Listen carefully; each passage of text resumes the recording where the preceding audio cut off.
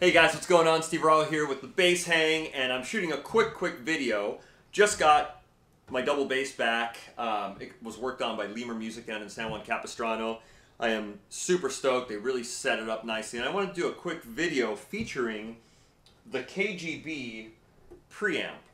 And I just had an idea, and I wanted to see what the KGB would sound like with an upright bass plugged right into it. So on this upright bass, I have the Underwood pickup.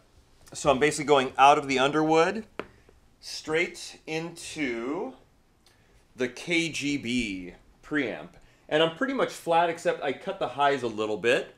And that's about it. Uh, the other thing I want to mention is Lemur Music suggested doing a little trick to the Underwood pickup.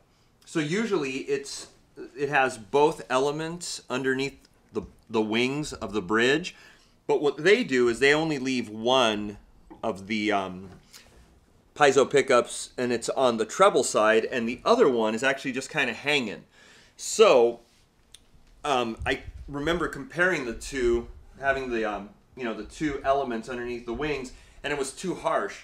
So they suggested to, you know, do this little trick and it actually sounds, I think it sounds really, really great. So um, has a lot more bottom end. It's not as bitey. The other thing too is I'm going out of my KGB straight into Logic Audio. So I'm going to be recording direct right into Logic Audio. So um, that's what you're going to hear. So here we go.